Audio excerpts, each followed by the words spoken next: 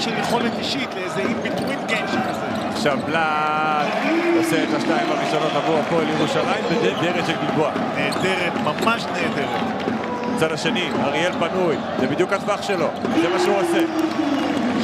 ליגה, יש שם שחקנים, לכספים שלנו, בינגו. תומאס עובר את בלקשי בלי שום בעיה, הפיק אנד רול בין בלאט ותומאס. יתרון נקודה גלבוע. בלאט.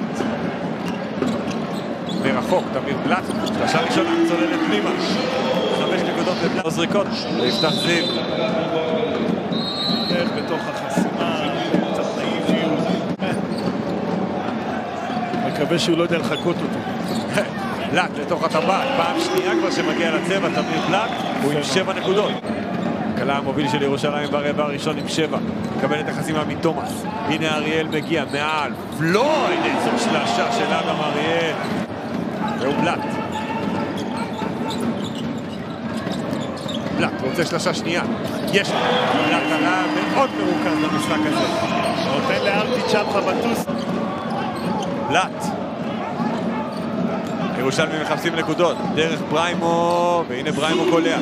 זיו טוען שהייתה עבירת תוקף. אני חושב שהוא חיפש להיכנס למגע.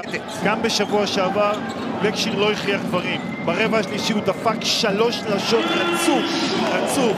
אבל אלמנטים ראינו, קליעה משלוש.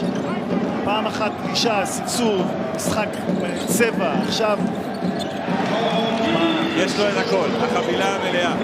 הנה אריאל במעבר, בני מגיע אליו, פלט, מחזיר את זה לאריאל, הוא פנוי, הוא זורק, הוא קולע. שלשה רביעית של אדם אריאל. המומנטום... קפטן, אולי אתה מכיר את יורם ורטה. קודם כל אתה מוציא אותי עיתונאי רע מאוד עם כל הסקופים האלה, אבל בוא נדבר על הפועל ירושלים, שם אומר...